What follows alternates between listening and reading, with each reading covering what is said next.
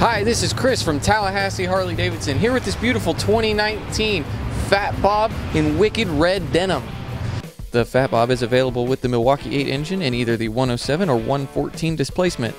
The Fat Bob is available in four colors Vivid Black, Denim Black, Bonneville Salt Denim, and the Wicked Red Denim.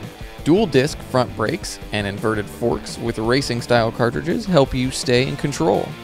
And the 2 into 1 into 2 exhaust has a big performance inspired appearance with a custom contrast finish.